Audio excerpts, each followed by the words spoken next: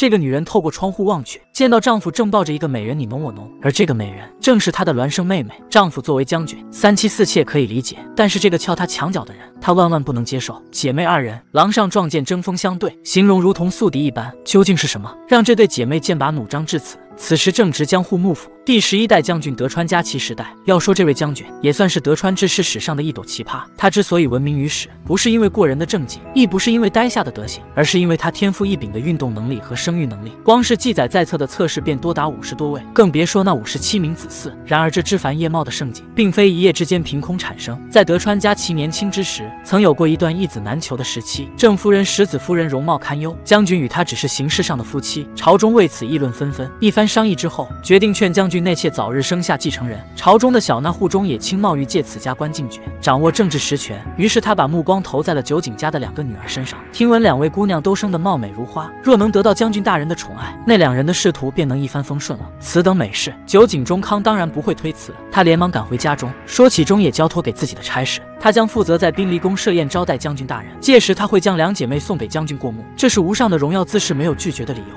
姐姐阿梅一向沉稳端庄，毕恭毕敬到自己会为家族全力以赴，在所不辞。此话一出，妹妹阿哥却是不大高兴了，一声不吭离开了房中。两姐妹都是少见的美人，但论样貌和仪态，还是阿梅更胜一筹。因而阿哥对于姐姐的情感也十分复杂，血浓于水的亲情之中，混杂着暗自比较的不甘。他知道家中的武士兵无暗恋自己，于是在他面前宽衣解带，问他和姐姐谁更能得到将军的青睐。他生性大胆，开始撩拨面前的人。谁知这个武士是个没胆量的，哆哆嗦嗦帮他穿好了衣服。阿哥冷冷道。つまらぬ男。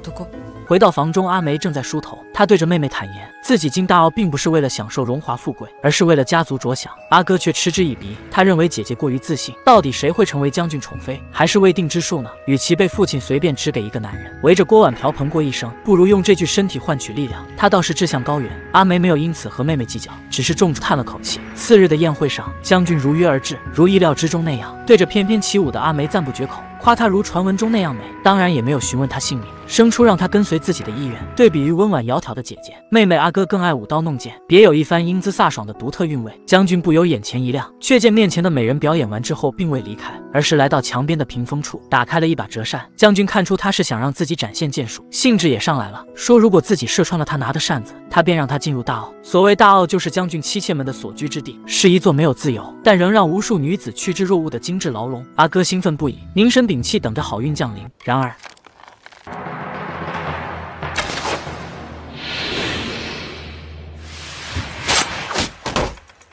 一道血痕留在了脸上，将军顿时大怒，断言酒井家窝藏了刺客。酒井中康已是瑟瑟发抖，连忙跪在地上赔罪。此时的将军已经是盛怒之态，他拿过刀想要砍了酒井，刀即将落下时，却被这位美丽的少女阻止。阿梅虽然外表柔弱，但性格刚毅，主动提出想要代父一死。她坚定的模样让将军动容。将军凝视着她的容颜，问道：“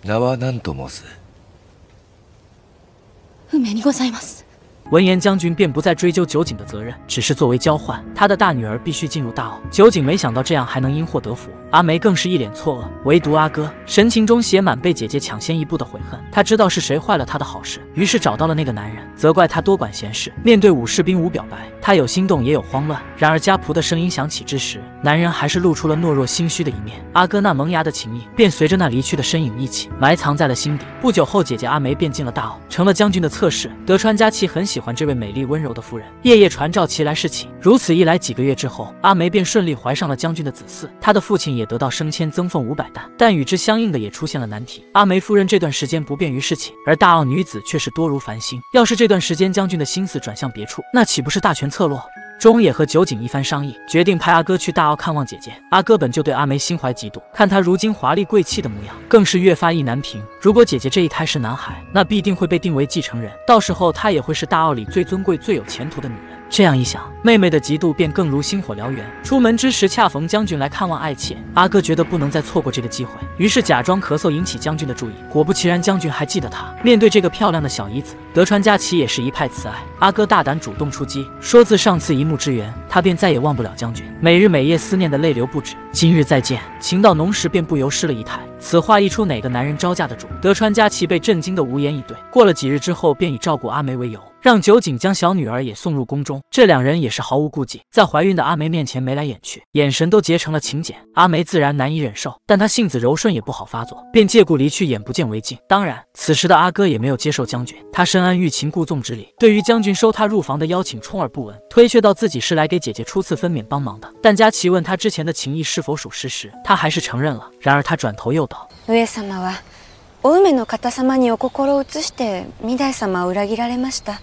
お梅の方様をないがしろにされようとしています。”这话说的大胆，但在色迷心窍的佳琪看来，却是别有一番楚楚可怜之态。阿哥为了夺得将军独一无二的宠爱，斗胆提出想要一座只属于两人的宫殿。施工那日恰巧是阿梅的临盆之日，听着外面砍伐木头的声音，他大为不解。女官灵机一动，谎称那是将军在为他和小世子修筑行宫。阿梅不由感叹将军的用心，也并没有多想，痛苦了一整天。夜晚时，孩子终于生了下来，是一个健康的小公主。将军见继承人之梦落空，脸上的笑容顿时垮了下来，连阿梅也没有问候，便失魂落魄离开了产房。也就是在这一晚，将军和阿哥有了实质性进展。美人的眼神咄咄逼人，要将军发誓以后只爱她一人。绝对不去姐姐那。将军箭在弦上，别说是不去阿梅那里，就算是让她死了，他也甘愿。一夜之后，大奥又添新宠，时间如流水，新修的宫殿也已经竣工。阿梅抱着女儿去查看，里面传出的琴音使她惊诧不已。透过窗望去，只见将军正抱着一个美人调笑亲昵，那位美人赫然就是他的孪生妹妹。没想到自己在孕期被亲妹妹挖了墙角，阿梅一时间不知作何表情。恰巧此时怀里的婴孩啼哭起来。换回了他的心神。不久之后，大奥易主，阿哥独得将军宠爱。面对比自己资历老的姐姐，